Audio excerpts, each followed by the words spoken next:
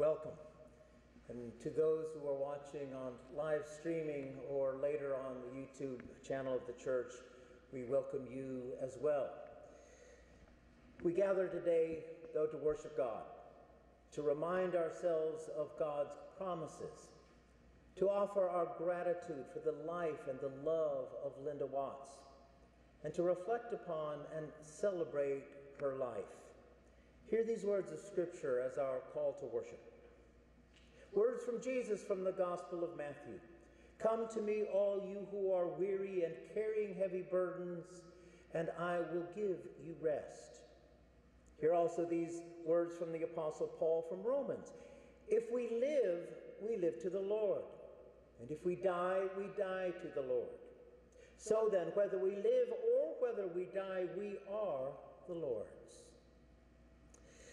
So please now, if you can, to rise in body or in spirit for our opening hymn, one of Linda's favorites, On Eagle's Wings.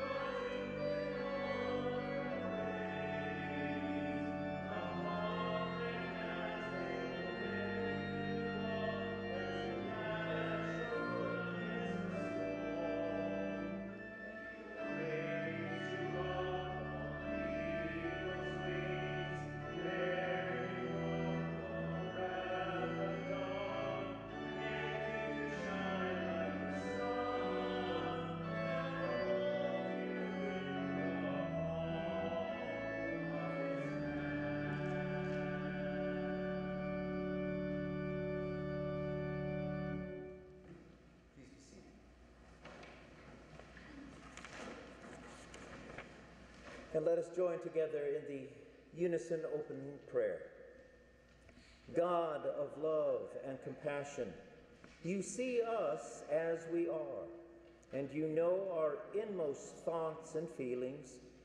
Remind us all life comes from you, and to you all life returns. We acknowledge it is your love and grace that sustain us Help us at this time to experience your comforting presence. In your mercy, forgive us, heal us, and make us whole. Set us free from sin and restore us to the joy of your salvation, now and forever. Amen. You are created by God, beloved by God, accepted by God, and forgiven by God. Let us also then forgive one another.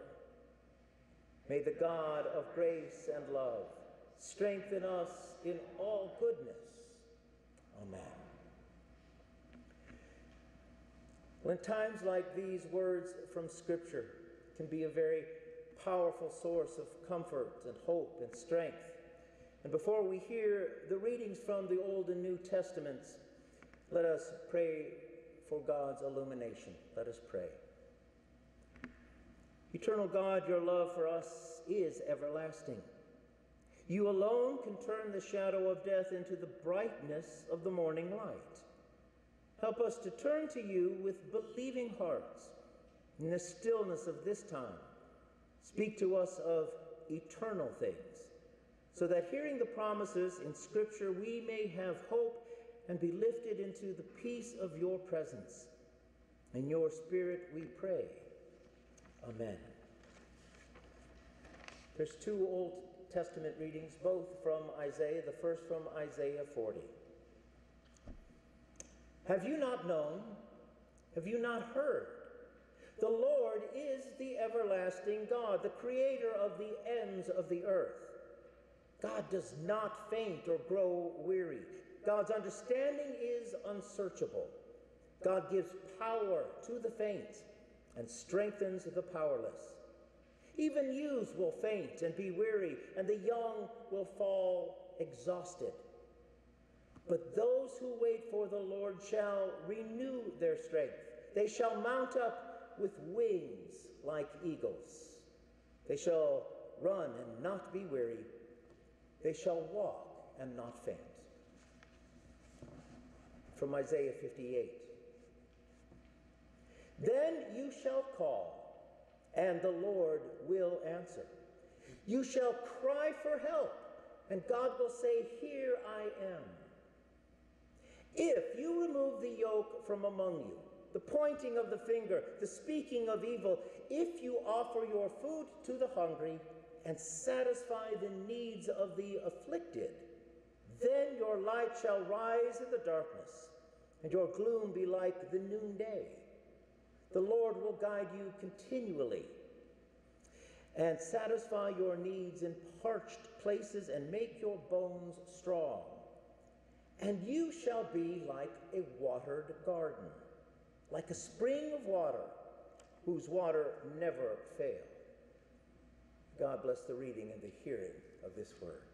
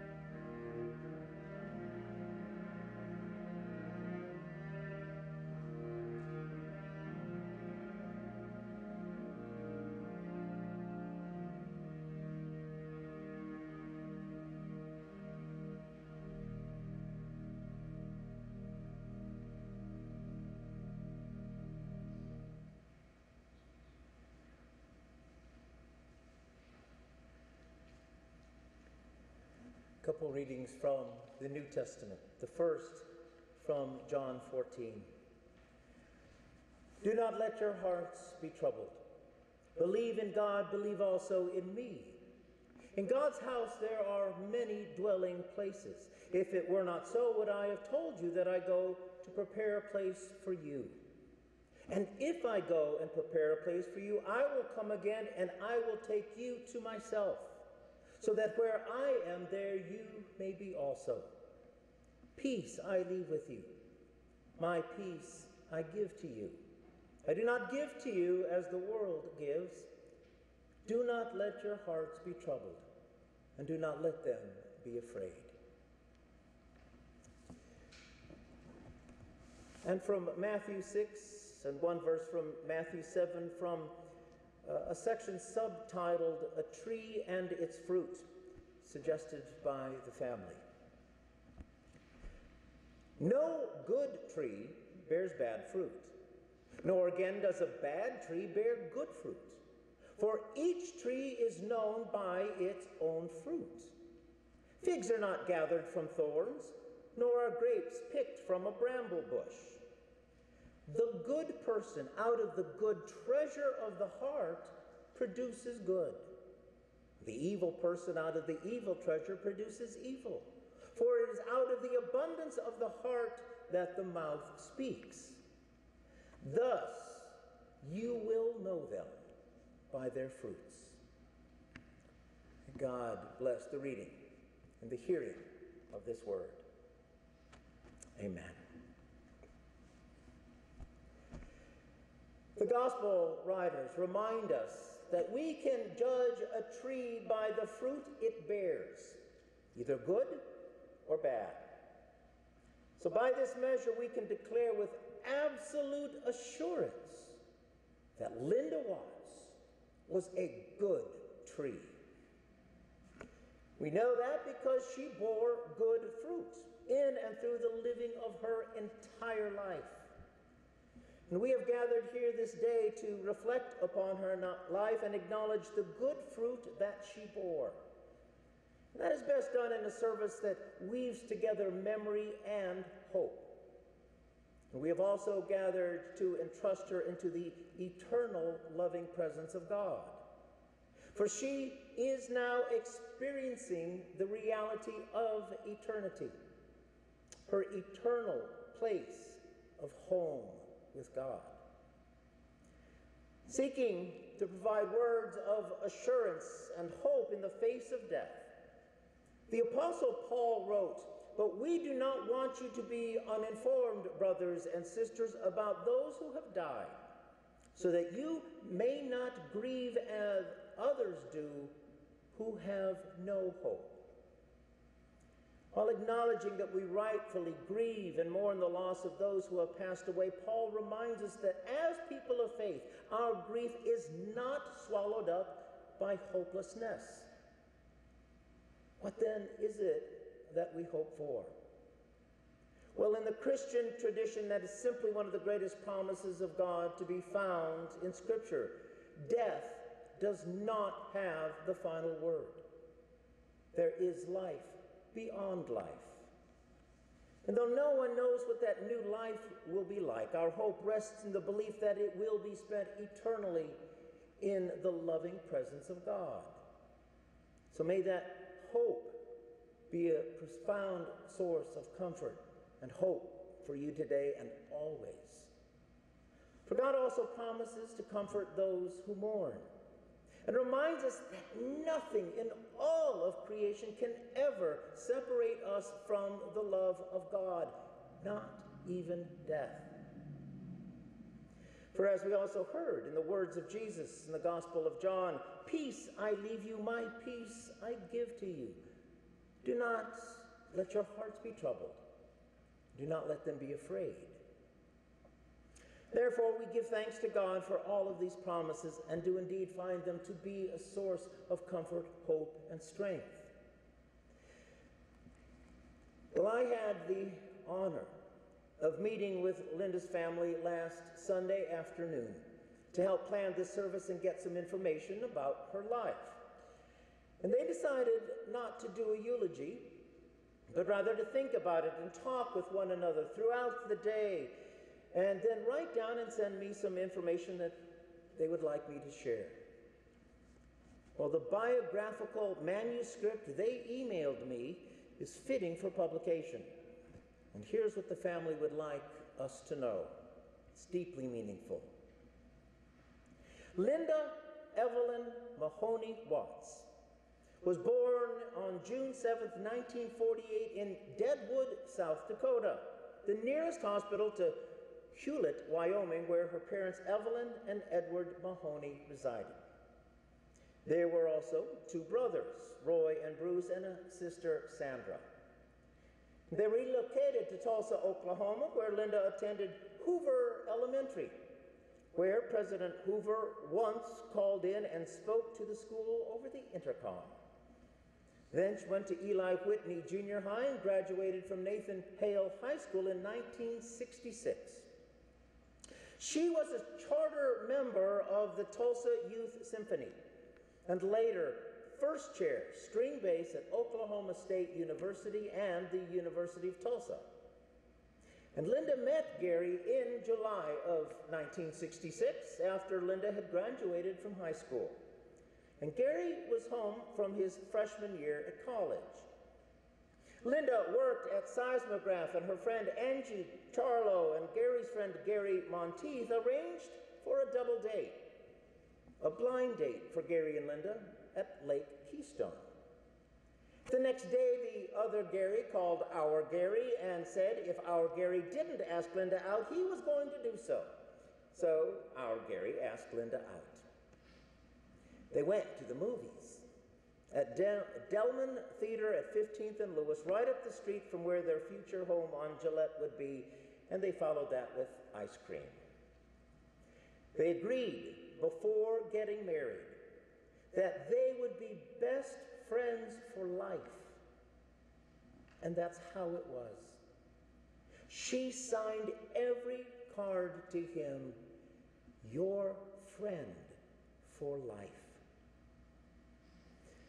Lyndon married, Gary got married in December of 1968.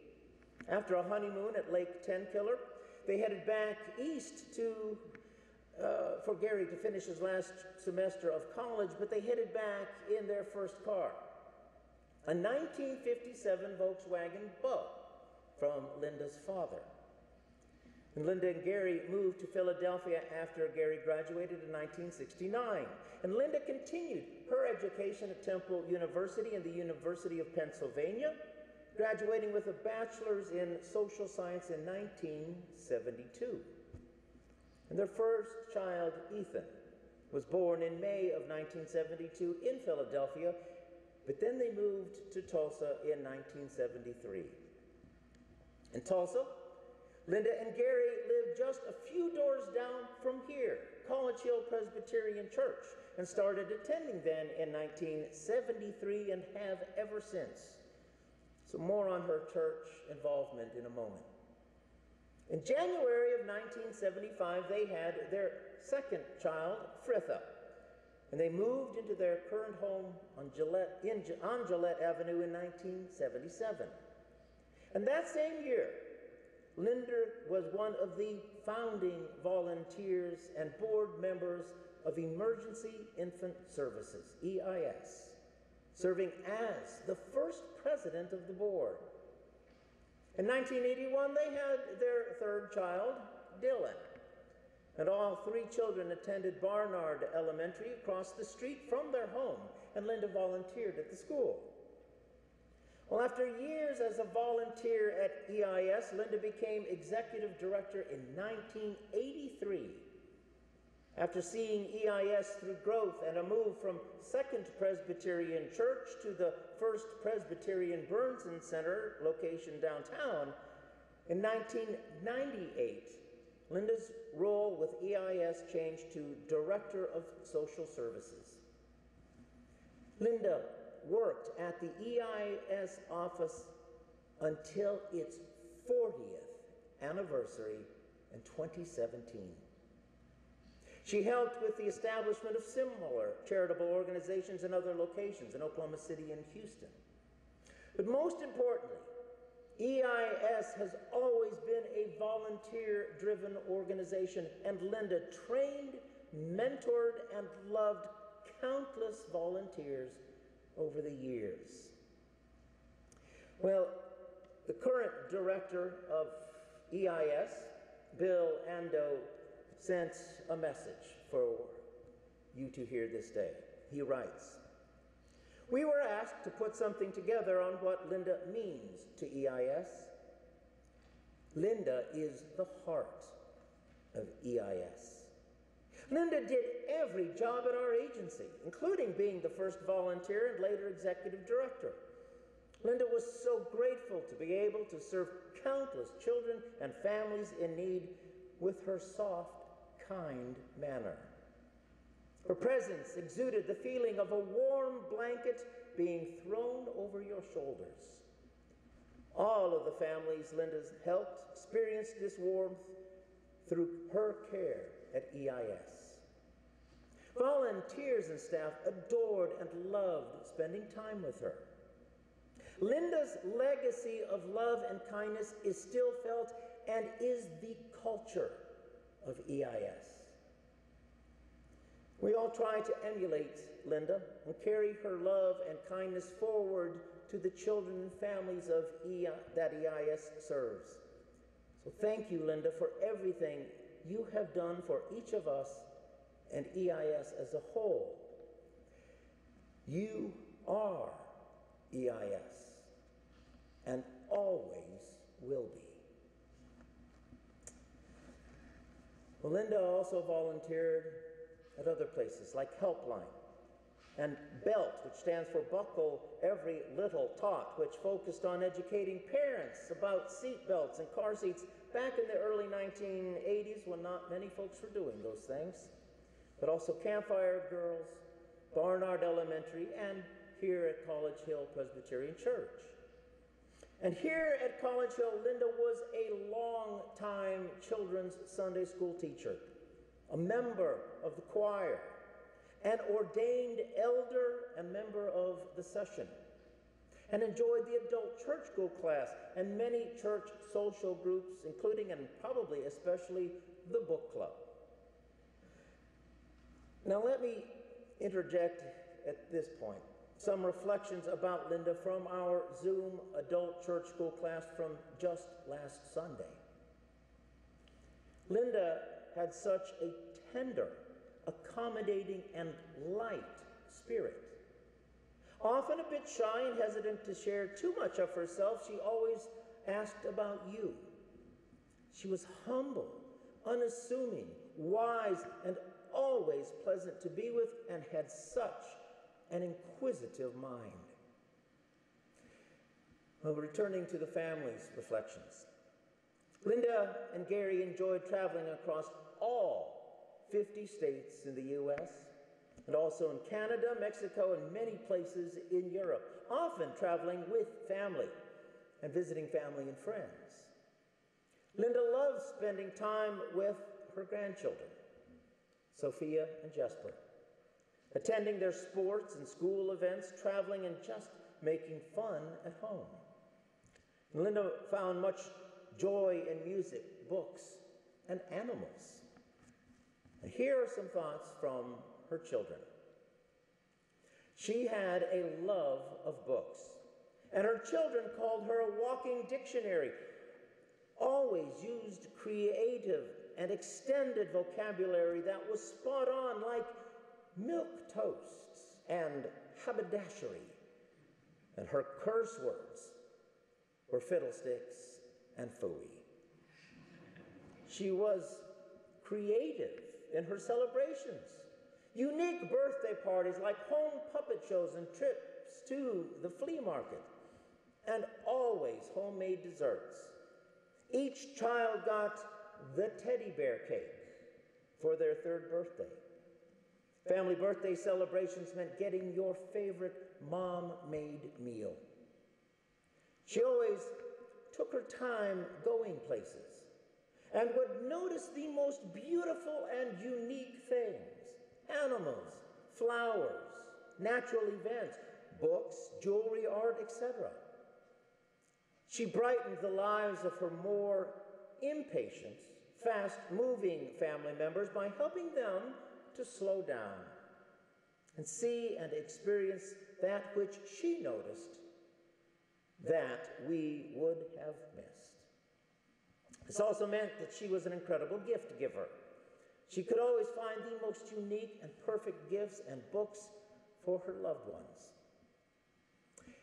In 2004, her grandchildren, Jesper and Sophia, were born.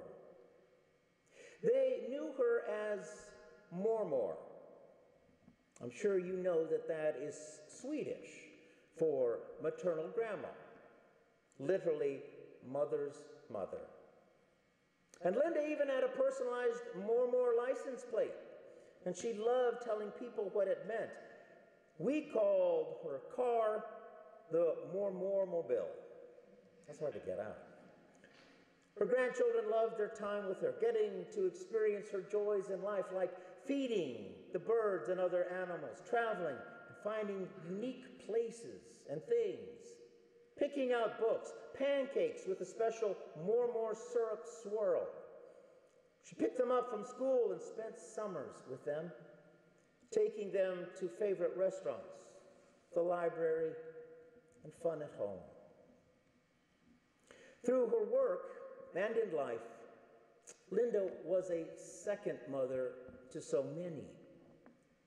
They write, We have recently heard from so many that remember and appreciate the kindness and fun that she gave so freely. And here are some of those reflections. Linda was always so beautiful in so many ways. The best big sister a little sister could ever have. She meant the world to me. I have such good memories of her. She was inspirational in her passion around EIS and gave so selflessly of her time and energies to help the most vulnerable who needed a helping hand. She was always reading and talking about almost any topic one could imagine. She had such a pretty smile and radiated such positive energy and happiness. She was always so welcoming when we were growing up with the cousins and running around your house causing all kinds of kid chaos. She was a true fighter, too, having beat cancer and doing so with such strength, determination, and grace. I know she had her struggles over the last few years, but your dedication to her was amazing and such a great example of what it means to commit to someone for life. Such a rare gift these days. Loss just sucks. There's no way to sugarcoat it. Just know that your family loves you, and you have so many standing with you, grieving alongside of you. They, Linda and Gary, were absolutely second parents to me sometimes even first parents. Hundreds of fun memories of family fun and acts of kindness, campouts, travels to Dwight Mission, taking me in during tough times with my own family, volunteering at EIS, countless movie nights, etc. Lots of memories of Linda's kindness and gentle humor. Really cherish the time I spent volunteering with her at EIS. Beyond just being my friend's mom, she was a woman I really admired and looked up to as a person. Linda's kindness meant so much to us. Her welcoming arms when we were first in this country.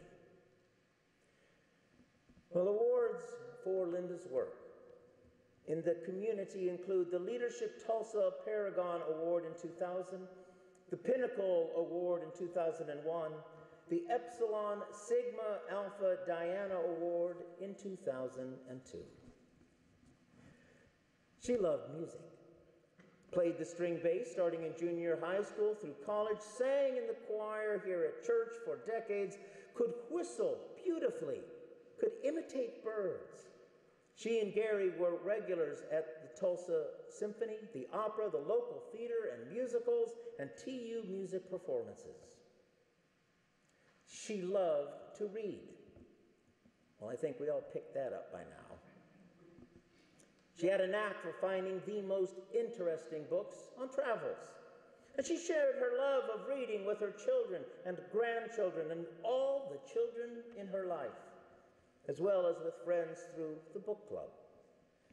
She loved animals, grew up in a house welcoming of all animals. In her adult life, she always had cats and saved many turtles off the road. She kept the birds and other backyard creatures fed. Well, finally, Gary asked me to thank the many friends, family, and others whose help and attention meant so much to Linda and him during their final years together. Linda's physician, Dr. Tracy Smith, was dependably responsive to Gary's concerns after Linda's diagnosis of Alzheimer's in 2017 through the rest of her life. Following her hospitalization last summer, the dedicated home health professionals from Scissortail worked to give her the best quality of life in her final months. The health professionals from Compassus Hospice were responsive and caring in assisting with her end of life care.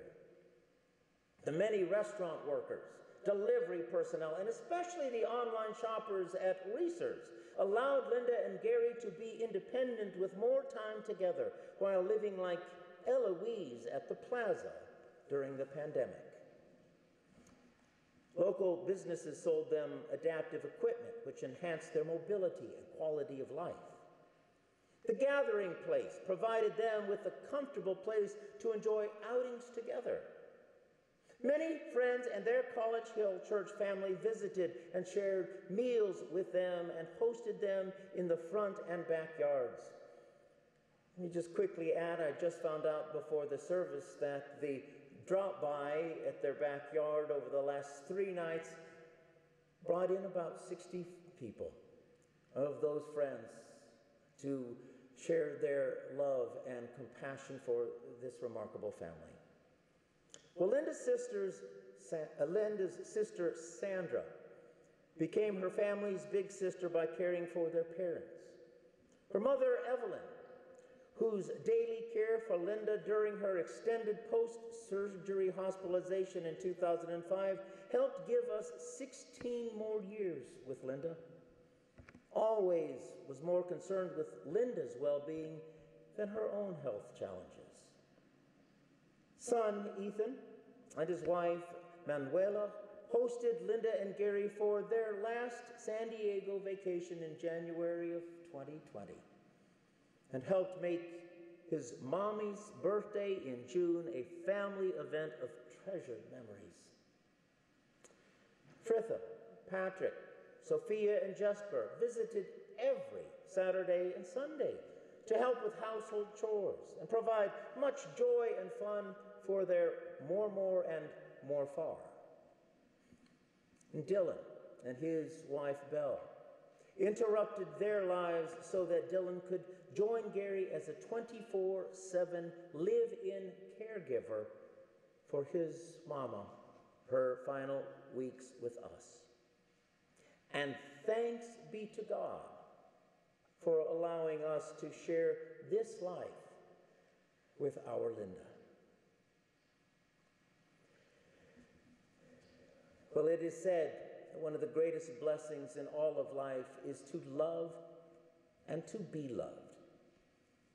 It is abundantly clear that Linda Watts loved and was loved. Watching Gary love and care for her so intensely and faithfully these past few years was an inspiration to all. Many were particularly moved by his graciousness to simply let Linda be Linda, to be herself in these final years. Like when she often wore a knitted winter cap and gloves to church when everyone else was in shirt sleeves. All of your and our memories of her are part of her remarkable legacy. And her legacy is and will continue to be marked by the good fruits of her labors, of her works. And one is the apple tree that her church school class planted several years ago, of which grandkids were a part. It's located just outside the side of our church building. And just a couple weeks ago, our current children picked about 80 of those apples and are planning something special for the congregation later in the year. On this day, we hold the memory of the life and love of Linda Watts with reverence and with respect and with deep gratitude.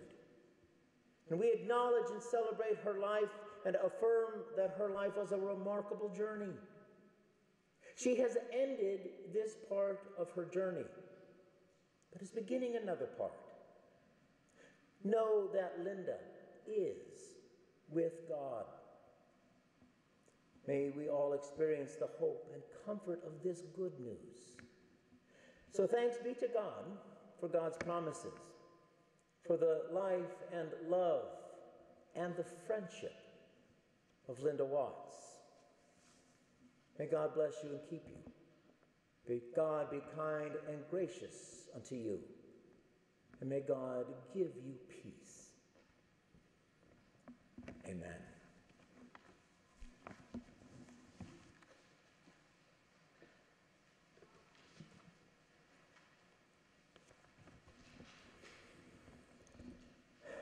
Let us pray.